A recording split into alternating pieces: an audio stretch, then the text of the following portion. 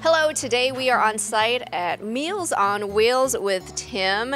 And Tim, we know that you guys are giving food to the elderly population in the form of Meals on Wheels, but talk about what else your mission does. Uh, we also provide companionship. Volunteers usually spend a couple of minutes chatting with the seniors, see how they're doing. It's also a way to do a welfare check on them, make sure everything's good with them. Now, talk a little bit about the meal, sort of what's going into it. Um, So we always have protein, vegetables, fruit, milk, basic nutritional needs that the seniors need.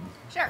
And they're actually being made in this kitchen. Is it Monday through Friday? Yes, we deliver Monday through Friday. All the meals are prepared here in our kitchen. Got a staff of about 15 here and work every day to get it all ready to go out. We service about close to 400 home delivered meals. I'm mean, about the same at our congregate sites. We're Western South Dakota based out of Rapid City, and there's 52 communities that we serve. Wow, that is no small feat. You need a lot of volunteers. Yes, on average about 520 a month because we have 26 routes here in Rapid City that we deliver to and Monday through Friday. Typically we have our volunteers deliver just once a week the same route. That way they get to know their seniors that way. The meals start leaving our kitchen at 10:30 with the last ones going out around 11. And the routes usually take anywhere from 45 minutes to an hour and a half if it's one of the outer edges of town. Now, have you ever volunteered for these meals? Yes, I started as a volunteer. I volunteered for four and a half years and then came on board as an employee to help coordinate the volunteers.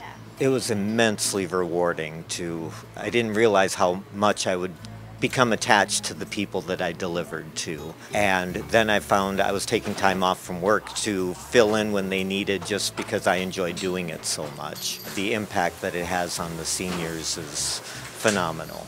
The, the way they just light up getting to see somebody because sometimes the volunteer is the only person they see that day. So we did uh, add a new route, which brought us to 26 routes a day. Our routes were getting kind of large. We've had, on average, about three or four new seniors on the program each week. When the routes get really large, then we create a new route to spread out the deliveries so that it's not such of a burden on one volunteer.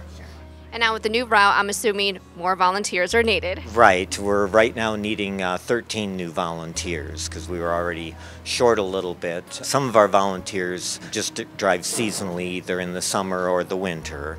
And so right now we're losing some of our summer volunteers and needing to fill those gaps. Now if somebody is watching this and thinking, okay, I could probably volunteer, sort of what are they getting into as far as time commitment and that type of thing? Um, time commitment, it's roughly between hour to an hour and 45 minutes, probably maximum. We have the volunteers come to our kitchen and they put a sign in their window which route they have, and then we bring the food out to them, load up their vehicle, and send them out on their way. Yeah, pretty slick deal. Now, what if someone's thinking, okay, I can do it, but I can't do it every week, or I'm on vacation this time? I guess what, what's the answer for that? We, we always have people that you know need to take time off, and so we also have substitute drivers that for people that can't commit, they'll send us a list, you know, saying I can deliver these three days of the month, or we put them in when there's we're short a driver because they're on vacation, or if someone gets sick, then we have to call around and try and find last minute fill-ins. Right, right.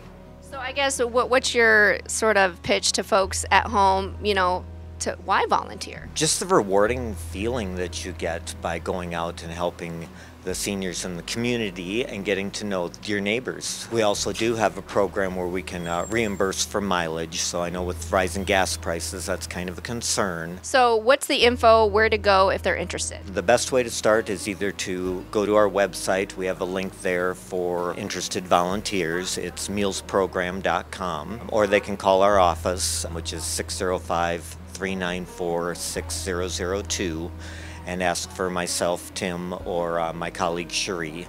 Have you come in? We'll either take you out on a route ourselves, or if we're occupied, then send them out with another volunteer to see what we do and if it's something that they would enjoy. All right. Let's get some volunteers then, huh? Exactly. All right, thank you. Thank you so much, Anya. We appreciate it. You bet.